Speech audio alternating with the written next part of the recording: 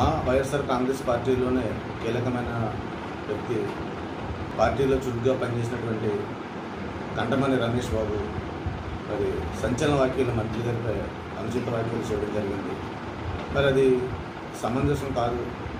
ఏదైతే ముఖ్యమంత్రి జగన్మోహన్ రెడ్డి గారు వారి టార్గెట్ రెండు వేల ఇరవై నాలుగు ఎలక్షన్లో నూట డెబ్బై ఐదు స్థానాలకి నూట డెబ్బై ఐదు స్థానాలు రావాలని ఆయన దృఢ సంక్షేమంతో ఉన్నారు కాబట్టి అది ప్రజల్లోకి తీసుకెళ్ళే ఉద్దేశంతో ప్రతి కాన్స్టిట్యున్సీలో కూడా ఈ వ్యవహారం జరుగుతుంది.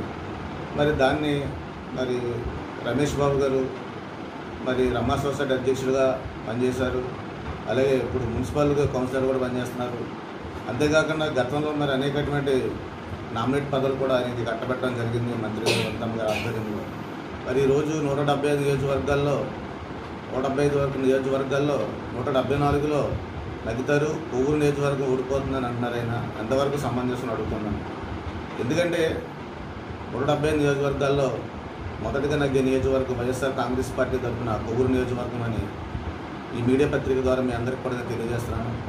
ఎందుకంటే వారు మరి వనితమ్మ గారు ఈ కొవ్వూరు నియోజకవర్గంలో మరి పార్టీని అంటిపెట్టుకుని అధికారం రాకముందు కూడా అనేక కార్యక్రమాల్లో పంచుకుని ప్రజల్లో మమేకమయ్యి మన అధికారంలోకి వచ్చిన తర్వాత కూడా ఆవిడ మంత్రి పదవి తీసుకుని ఈ ఈ నియోజకవర్గంలో మరి అత్యున్నతంగా కాన్స్టిట్యున్సీని అభివృద్ధి చేసే దిశగా ఆవిడ పనిచేయడం జరుగుతుంది.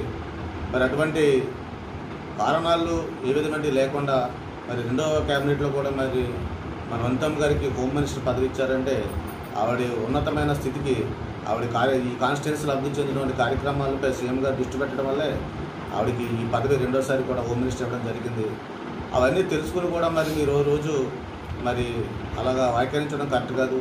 ఎందుకంటే మీరు కూడా గతంలో మనందరం కూడా కలిసి ఈ కాన్స్టిట్యున్సీలో వైఎస్ఆర్ కాంగ్రెస్ పార్టీ జెండాని ఎగరవేసే దిశగా మనందరం కూడా కష్టపడి పనిచేసాం అందులో మీరు కూడా ఉన్నారు. మరి ఈరోజు మరి అధికారం వచ్చిన తర్వాత మీరు ఆర్థికంగా కానీ వేరే విధంగా కానీ మరి మీరు అభివృద్ధి చెందడం జరిగింది. కులం చూడడం మతం చూడడం ప్రాంతం చూడడం పార్టీ చూడడం అనే సిద్ధాంతంతో ఈ రోజు ముందుకు పోతున్నారు మన ముఖ్యమంత్రి జగన్మోహన్ రెడ్డి గారు. వారి సారథ్యంలో కూడా వనితమ్మ గారు కూడా ఆ దిశగానే అందరినీ కూడా కలుపుకొని మరి ఆవిడ కూడా ఈరోజు ఈ కాన్స్టిట్యున్స్లో ప్రయాణం చేయడం జరుగుతుంది. మరి ఈ విధంగా మీరు వ్యాఖ్యలు చేయడం సమంజసం కాదు. అలాంటి వ్యాఖ్యలన్నీ మీరు వెనక్కి తీసుకోవాలని మనస్ఫూర్తిగా కోరుకుంటున్నాను. ఎందుకంటే మీరు కూడా పార్టీలో క్రియలా క్రియాశీలకంగా వ్యవహరించినటువంటి వ్యక్తి. మీరు అలాంటి వారు తొందరపడి నిర్ణయాలు తీసుకొని పార్టీ మీద మరి వనితమ్మ గారి మీద ఇటువంటి బురజల్లే కార్యక్రమాలు చేయకూడదని మనస్ఫూర్తిగా కోరుకుంటున్నాను. మరి ఏదైతే అర్థం బ్యాంకు ఉందో మరి బైలా ప్రకారం కొన్ని నియ నిబంధనలు ఉంటాయి?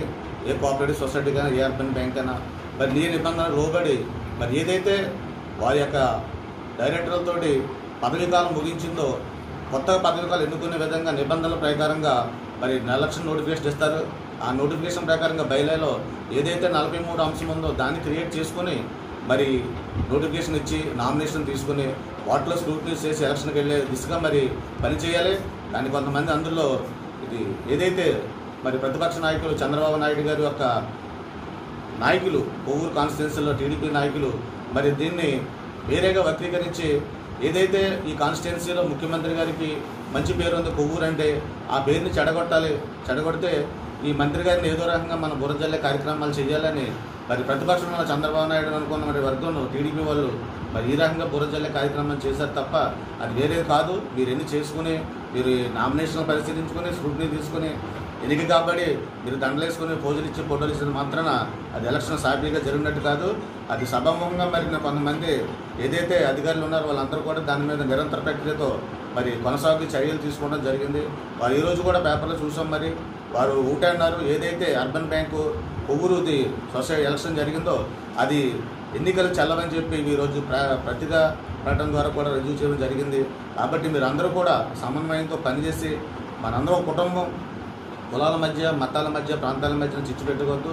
ఎవరో కూడా వేరే వ్యత్యాసాలు పోవద్దు. మనందరం కుటుంబం కాబట్టి మనందరం అన్నదమ్ముల్లాగా ఎస్సీ ఎస్టీ బీసీ మైనార్టీ ఓసీలు అందరం కూడా మనందరం ఒక తాటి మీద ఉండి మనందరం అన్నదమ్ముల్లాగా మెలిసి ఈ పార్టీకి మన వెన్నుముక ఉండి మన వైఎస్ఆర్ కాంగ్రెస్ పార్టీ కొవ్వూరు కాన్స్టిట్యున్సీని మరి రాబోయే రోజుల్లో కూడా రెండు వేల ఇరవై నాలుగులో కూడా అఖండ మెజారిటీలో మరి వనితమ్మ గారిని మనం గెలిపించుకొని మరి ఏదైతే మరి ముఖ్యమంత్రి జగన్మోహన్ రెడ్డి గారు మరి మన కాన్స్టిట్యున్సీ కొవ్వూరు అంటే చాలా అభిమానం. అలాంటి కాన్స్టిట్యున్సీకి మన హోంమంత్రి ఇచ్చారంటే మరి ముఖ్యమంత్రి తర్వాత ఉన్నతమైన పదవి అదే. మరి ఆ పదవికి తగ్గట్టుగా మనం రేపు పొద్దున్న ఈ ఎలక్షన్లో రెండు వేల ఇరవై నాలుగు కాన్స్టిట్యున్సీని మన కొవ్వూరుని అత్యధిక ఓట్ల మెజారిటీ వైఎస్ఆర్ కాంగ్రెస్ పార్టీ జెండా ఎగరవేసి అది కానుకగా మన జగన్మోహన్ రెడ్డి గారికి ఇవ్వాలని మనందరం కూడా కొవ్వూరు అత్యధిక ఓట్ల మెజారిటీ వైఎస్ఆర్ కాంగ్రెస్ పార్టీ జెండా ఎగరవేసి అది కానుకగా మన జగన్మోహన్ రెడ్డి గారికి ఇవ్వాలని మనందరం కూడా మనస్ఫూర్తిగా పనిచేసి ఈ విధంగా అన్నదమ్ముల్లా కలిసి ఉండాలని వేరువేరుగా కొట్లాటలు అనేది జరగకూడదని మనస్ఫూర్తిగా కోరుకుంటున్నాం.